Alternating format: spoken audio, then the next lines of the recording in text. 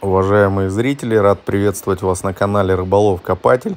Сегодня у нас не совсем обычный выпуск, и мы вместе с вами отправимся на экскурсию на подводную лодку. Находимся мы в городе Калининграде, в музее Мирового океана.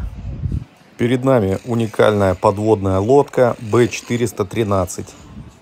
Это одна из немногих подводных лодок в мире, которая относится к доатомному периоду подводного флота –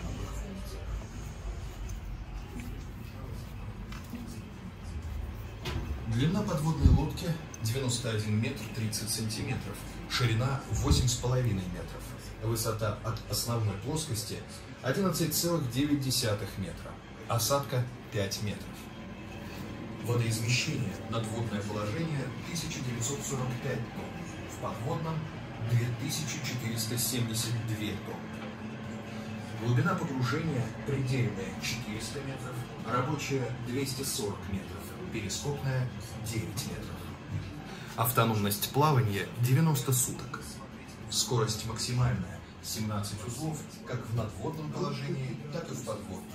Экипаж 80 человек, из них 13 офицеров, 11 мичманов, 16 старших и 40 рядовых. Всегда существует вооружение, собственность 500 и дальности обнаружения противника, что успешно решалось на Б-413. Первая и вторая группа аккумуляторных батарей, для подзарядки которых в среднем раз в 4 дня лодка должна всплывать в надводное положение, чтобы обеспечить движение под водой каюта командира корабля, каюта офицеров, офицерская кают-компания. Стол кают-компании являлся одновременно и операционным. Над ним установлены софиты. Врач с помощником, химиком, инструктором мог проводить операции. Второй отсек – носовой, аккумуляторный и жилой. Через стеклянные вставки в дверях можно рассмотреть внутренние помещения. В отсеке расположены рубка гидроакустиков, где действуют приборы, работающие в режиме шума и эхопеленгации, звукоподводной связи и обнаружения гидроакустических сигналов. Всегда существует проблема собственной скрытности и повышения дальности обнаружения противника, что успешно решалось на Б-413. Первая и вторая группы аккумуляторных батарей, для подзарядки которых в среднем раз в 4 дня лодка должна всплывать в надводное положение, чтобы обеспечить движение под водой каюта командира корабля, каюты офицеров, офицерская кают-компания. Стол кают-компании являлся одновременно и операционным. Над ним установлены софиты. Врач с помощником, химиком, сам инструктором мог проводить операции. Второй отсек – носовой, аккумуляторный и жилой. Через стеклянные вставки в дверях можно рассмотреть внутреннее помещение. В отсеке расположены рубка гидроакустиков – где действуют приборы, работающие в режиме шума и эхопеленгации, звукоподводной связи и обнаружения гидроакустических сигналов. Всегда существует проблема собственной скрытности и повышения дальности обнаружения противника, что успешно решалось на Б-413. Первая и вторая группа аккумуляторных батарей, для подзарядки которых в среднем раз в 4 дня лодка должна всплывать в надводное положение, чтобы обеспечить движение под водой каюта командира корабля, каюты офицеров, офицерская кают-компания. Стол кают-компании являлся одновременно и операционным. Над ним установлены софиты. Врач с помощником, химиком, сам инструктором мог проводить операции. Второй отсек – носовой, аккумуляторный и жилой. Через стеклянные вставки в дверях можно рассмотреть внутреннее помещение. В отсеке расположены рубка гидроакустиков, где действуют приборы, работающие в режиме шума и эхопеленгации, звукоподводной связи и обнаружения гидроакустических сигналов. Всегда существует проблема собственной скрытности и повышения дальности обнаружения противника, что успешно решалось на Бэчином всплывать в надводное положение, чтобы обеспечить движение под водой каюта командира корабля. Там же находятся перископы. Перископное устройство позволяет визуалить сам перископ, выдвижная вертикальная зрительная труба с оптикой и устройством, азимутальным кругом и дальномером. Он позволяет определять курсовой угол и дистанцию до объектов на поверхности моря. Установлен перископ в диаметральной плоскости корабля, а пост наблюдения в перископ находится в боевой рубке, куда можно подняться по скоб-трапу. При погружении лодки перископ опускается. Рубка является главным командным пунктом при плавании в подводном перископном положении. Боевая рубка служит жесткой основой для размещения в ней нескольких выдвижных устройств, перископов, радио и радиолокационных антенн и устройства подачи воздуха для работы дизелей под водой. Она же является переходным звеном между прочным корпусом и ходовым мостиком. Для перехода из центрального поста на мостик рубка снабжена герметичными верхним и нижним рубочными люками. В отсеке представлен список командиров лодки. Через люк попадаем в четвертый отсек.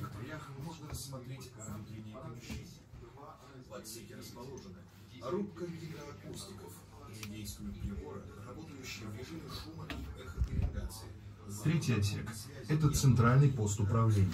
В нем расположены главный командный пункт, командный пункт штурманской боевой части, рубка радиометристов, боевой пост управления вертикальным рулем, боевой пост управления кормовыми и носовыми горизонтальными рулями, боевой пост управления станцией погружения и всплытия, боевой пост управления торпедной стрельбой, боевой пост по обслуживанию трюмных систем, рефрижераторные установки.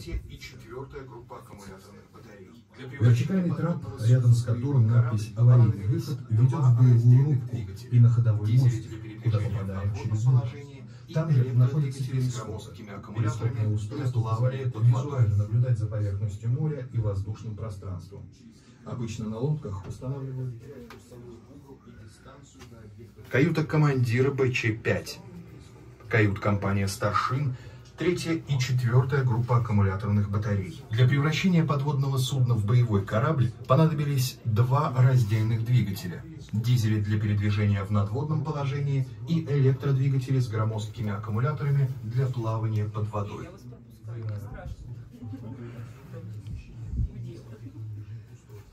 Пятый отсек ведет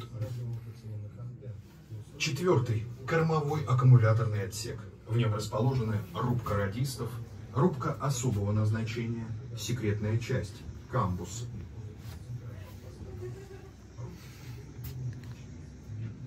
Каюта командира БЧ-5.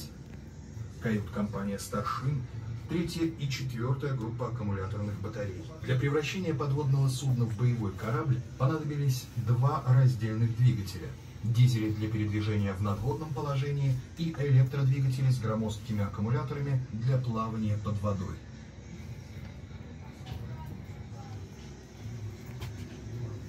В пятый отсек ведет дверь. Четвертый – кормовой аккумуляторный отсек. В нем расположены рубка радистов, рубка особого назначения.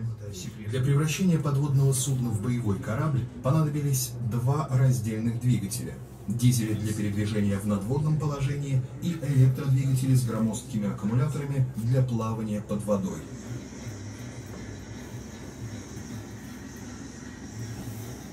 В пятый отсек ведет дверь. Четвертый – кормовой аккумуляторный отсек. В нем расположены рубка радистов, рубка особого назначения, секретная часть, камбус.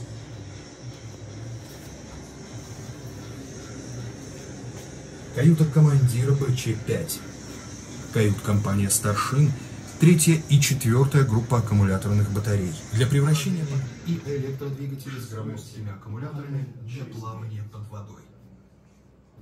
Пятый. Дизельный отсек, в котором расположены пост управления. В пятый отсек ведет. Четвертый. Кормовой аккумуляторный отсек. В нем расположены рубка радистов, Рубка особого назначения, секретная часть кампус, вдувной и вытяжной вентилятор. Каюта командира БЧ поднята крышка каюты.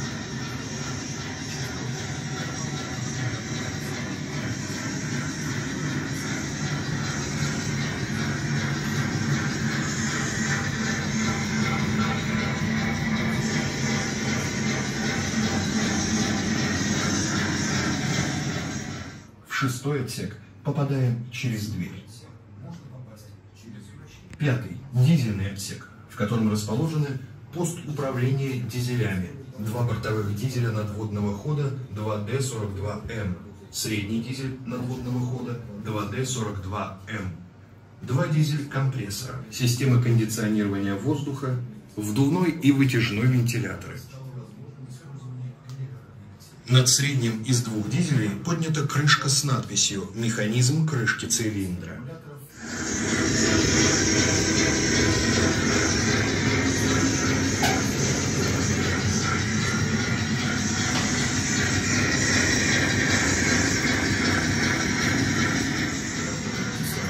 подача которого под водой всегда была проблематичной.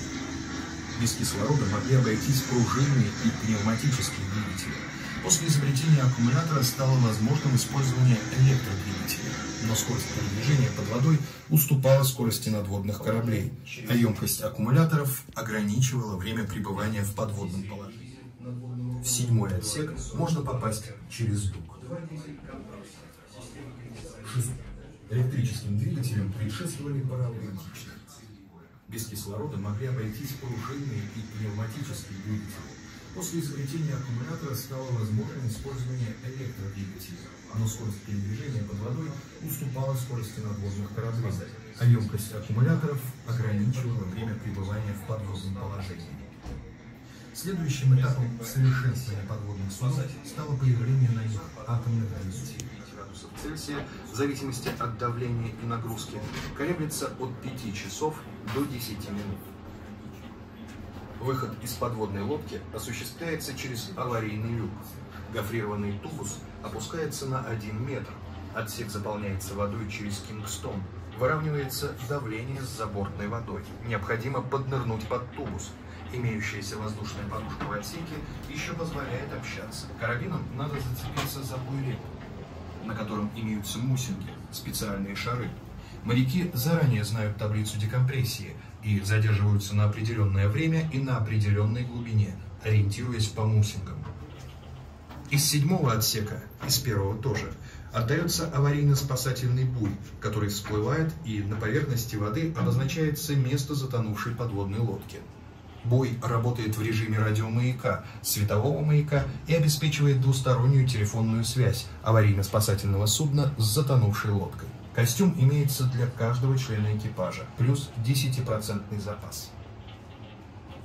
С первых лет существования батальонных судов начался скорбный отсчет потерь.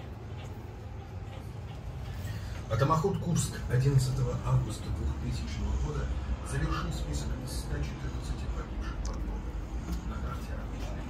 Вот такая легкая небольшая экскурсия у нас с вами получилась. Все, кто будет отдыхать в Калининграде, обязательно приходите в музей Мирового океана.